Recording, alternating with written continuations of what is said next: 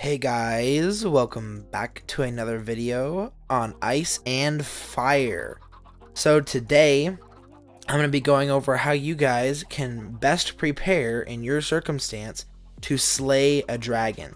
And we're doing this on purpose because, well, there is a dragon somewhere behind me, just a little ways out of render distance.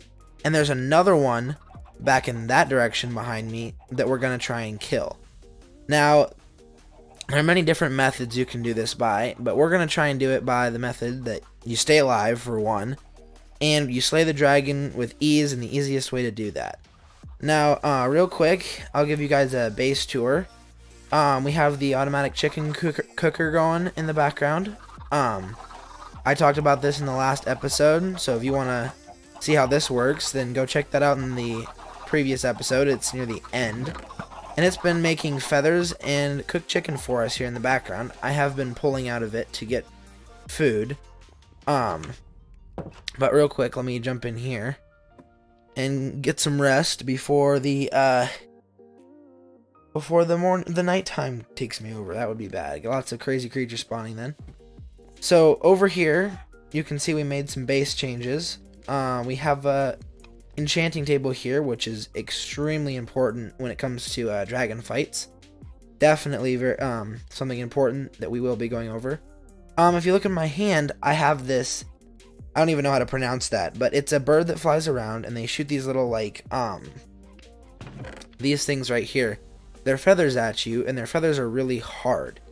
Um, you, they end up doing damage to you. Now, while I was searching across the earth looking for things, um, I found, you know, I found an extra, a really small dragon. I think it was a stage two roaming around.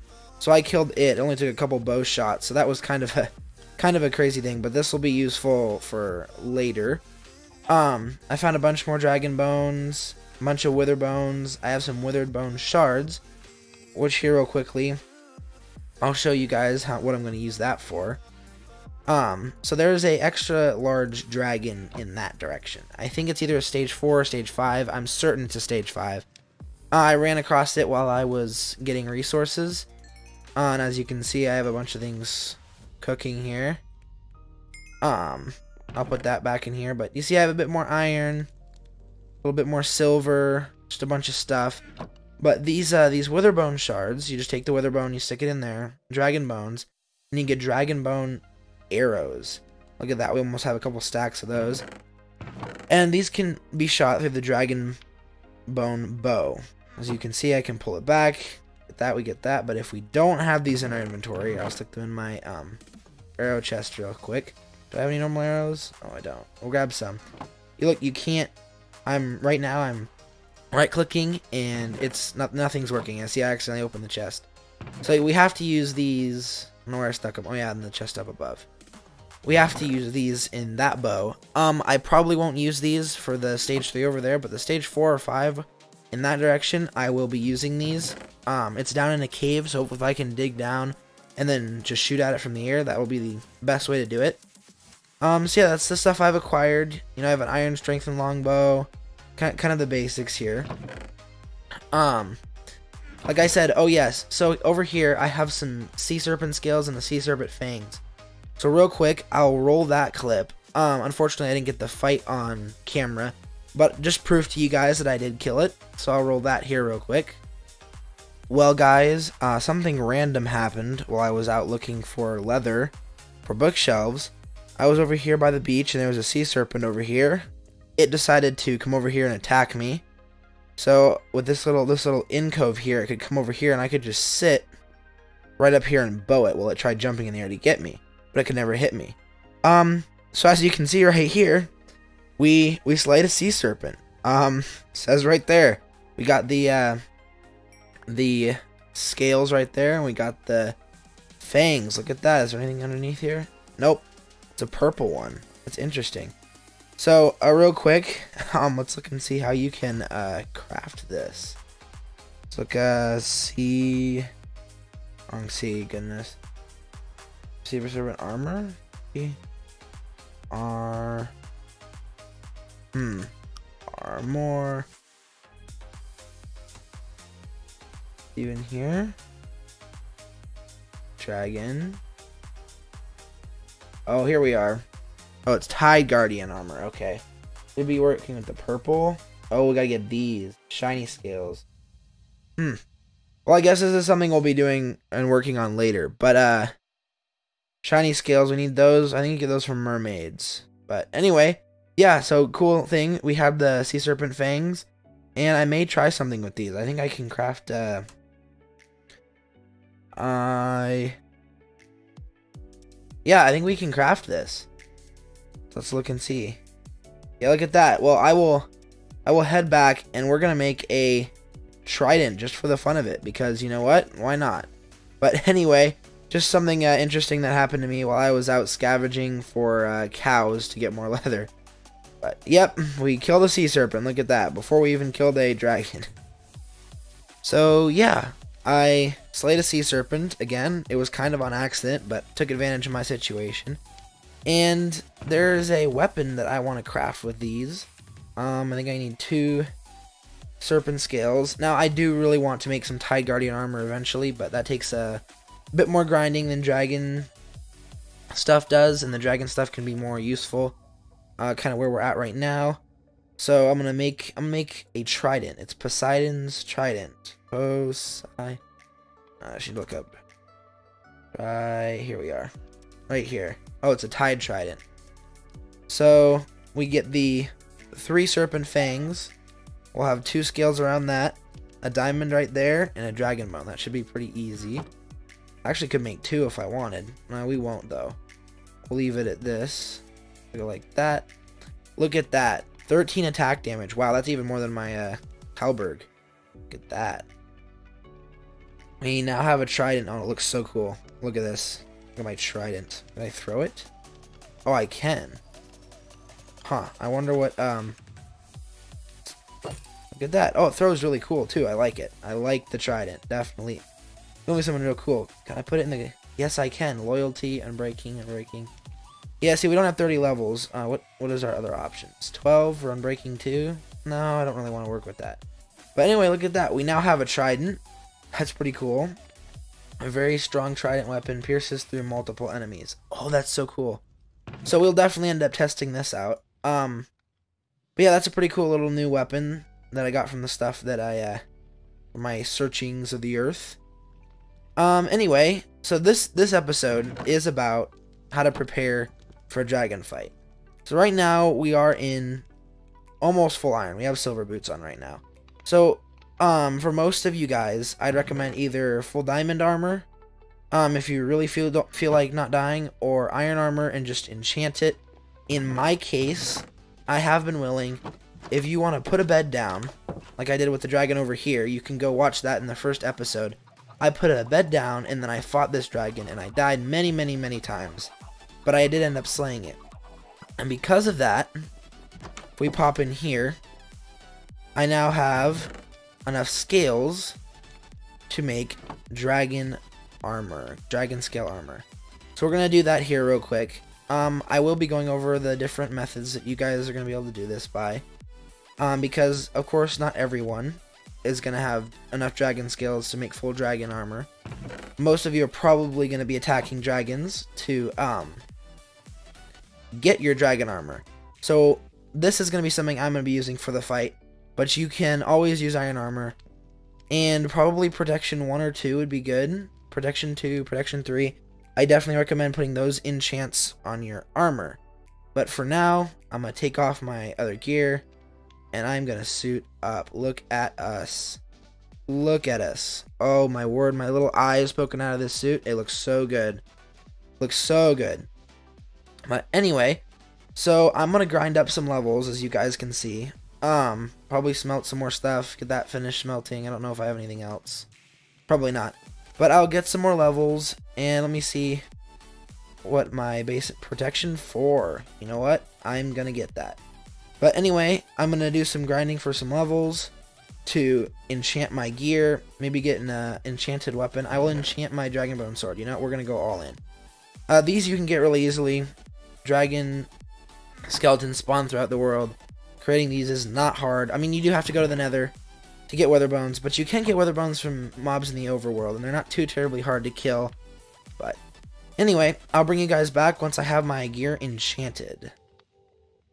Well, after grinding many levels, um, many levels, I, I say again, uh, we now have almost pretty much maxed out enchants, at least for protection and stuff on our dragon armor.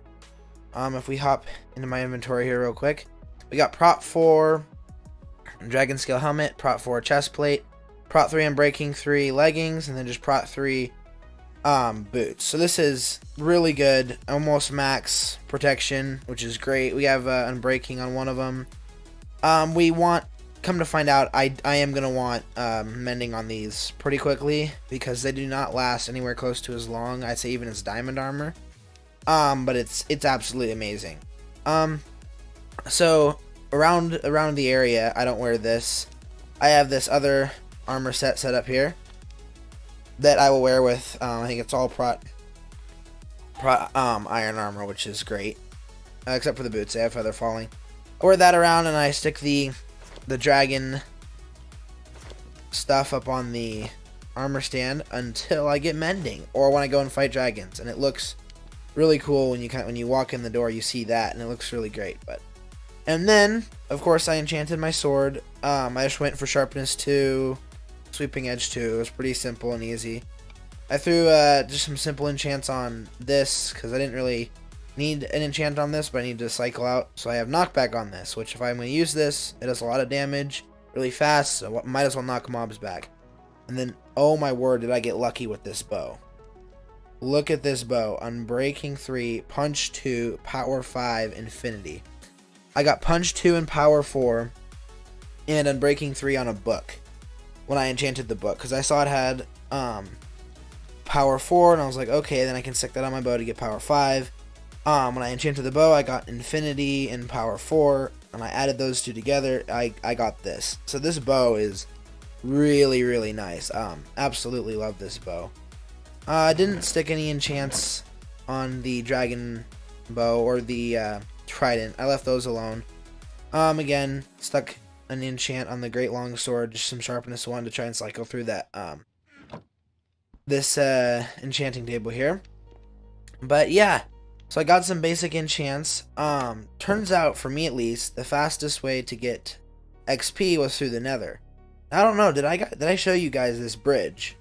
I don't think I did. I only think I showed the chicken coop and the house. But yeah, look at this. So we have a little a little bridge now that leads up to our uh, our Nether portal. Um, probably not one of my favorite builds, but it looks kind of cool. Um, so we pop through here. Now we get a little bit of lag while everything loads in. Let's see it loading in. Um, over here, so when you're grinding in the nether, zom for zombie, zombified piglin, or zombie pigman, whatever, if you've been around for a long time, you're stuck in the habit of calling uh, zombified piglins zombie pigmen. And I'm still stuck in that. And we're almost a year into the nether update, so yeah, not a problem at all. But anyway, so um, these guys, if I hit him, him and all his buddies, which there isn't too many around right now. Is there someone down there? Yeah. They all get mad at you. And then they chase you around.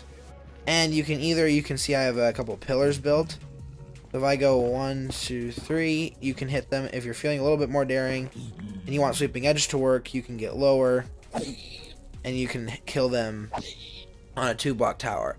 When there's like a giant horde after me, I prefer to do three block high. Um, sometimes I use three. When I was using my dragon armor down here, I just did a two block high, but I got knocked off a few times, and that wasn't very good. Um, but what I'll do sometimes, oh look at that. See, he, he knew that I killed his buddy, so he's mad at me. Um, but in this area over here, sometimes we'll get giant horde, hordes of them. So I'll run around between all the way over there and all the way over here. And I would lure them over here into that area. Let me eliminate this guy real quick. There we go. Um, I lure them in here. And then I would pop in here. I place the uh, or any block that I have. And I can just sit here and if there was hordes of them, I can sit here and I can just hit them over and over and over again and get lots of XP. Um, the reason I have these here is because when the babies come, they can pop through a uh, one by one hole. So you want to make sure that you have half slabs, and you can reach through that. So I got a bunch of uh, levels that way. I think I got over 35 levels three or four times just to try and get all these enchants. Um, but it is gonna prove useful when you're in a dragon fight. Now, personally, uh, oh look, see you can see a bit more of a bit more pig, zombie pigmen spawning over there. Why is the ghast mad at me? No, I don't want to do this ghast. Um, if you can go into a large, wide open area, you're gonna get more um zombie zombified piglin spawns. Um, but then you get more of those annoying ghasts spawning. And I hate dealing with ghasts, so I was doing it. I was gathering from this area, bringing them over there. And I was getting a lot. Like, there was a lot of um, zombified pig... Oh, wait, where am I going? I think I need to go back this way. Oh, yes, I need to go up. Okay, I need to block this one. Where is he? Oh, word. I just don't want my little path to get blown up while I'm on it and fall to my death. That'd be very unfortunate. Um, but yeah, and then there's less ghast you have to worry about when you're in a more confined area and you can hide from them a bit easier. but yeah, so that's how I got all 30 levels, um, or 30 level enchants. I got a lot more than 30 levels over and over and over again. But yep, so we have now full enchanted dragon scale armor. Uh, we have a really OP bow and dragonbone sword. Um, everyone in Ice and Fire, before you fight a dragon, I would recommend getting a dragonbone sword. They're easy enough to make. If you go to the nether and you get wither bones or in mobs from the overworld, then and you find a carcass of a dragon just laying on the ground, you can make these so easily. I'd highly recommend you do it. It'll be it'll definitely help out. Bow, make I, I like infinity personally. If you don't want to use infinity, um, you can. Oh, it's nighttime outside. I can ignore that for now. You can make a chicken farm like I have going on over here and I think I AFK'd this for 12 hours. This is the loot I got. So, you know, not a ton of food, um, but a, a, solid bit of feathers. Um, the concept behind this for me was just to have food in the background. You know, I'm around my base and in the area. It just, it's making food. Um, but lots of feathers that way, and then you can just mine flint and get a bunch of arrows. Um, or you can make a dragon bone bow, and you can get dragon bone arrows, and I, I don't think I don't think this is going to do more damage than my longbow. Uh, yet, because this just has power 5 and infinity, and it's it's so good. Even though these are Dragonbone arrows, we'll see. We will see. I'll definitely bring it, because there's a big old tier 4 or 5 over there. Um, if I grab my atlas, I don't think I've gone over this too much. But, um, it's like a much improved map. But, um, here's my home. We go this way a little bit. There's a big dragon in this area that I want to slay. Um, so we'll do that in the next episode. And there's another one over here-ish that we saw in the beginning after we killed the the first dragon. So, yep, in the next episode we will be doing that. Um, now, most people, unlike me, may not have full dragon scale armor. Now, if you don't, and you want to make this an easier process and not die as much, I recommend that you just get full diamond armor. Um, I don't have any diamond armor or diamonds right now with me because I use them on stuff like my enchanting table, my longbow, and a couple of other um, items. On my trident, I used a couple on the trident. So I don't have any, but if you want to make full diamond armor and enchant it, I wouldn't recommend doing complete max enchants. Um, if you wanted to go in with prot, prot one, or even prot two on the helmet, um, iron armor, then feel free to do so. Just make sure you have your bed near um, if you're doing ice dragons, then you don't have to worry about your stuff getting destroyed as much as you do with a fire dragon. Um, I have the gravestone mod installed, so that's not an issue for me. It it won't burn, it won't get destroyed. Um, but if you guys want, at the end of this, at the end of this series, I will post my mod pack um, live or make it so you guys can access it and you can play with the exact same mods that I have. Um, but yep, anyway, hopefully in the next episode, correction, in the next episode, we will kill two dragons. Um, hopefully without dying. Without dying would be great. Uh, we should be able to kill that one without dying, and this one if I play my cards right. But anyway, um, I want to thank you guys for making it to the end of this video. We are on our way to 50 subs. Um, only eight more to go, guys. If eight of you guys have watched through to the end of this video and you go down there and you subscribe, it is going to help me out and we'll reach 50 subscribers. And that will be insane. So if you guys could do that, it'd be great. It's free. If you loved the video, don't forget to go and hit a like. And I will see you guys in the next episode. Let's kill a dragon.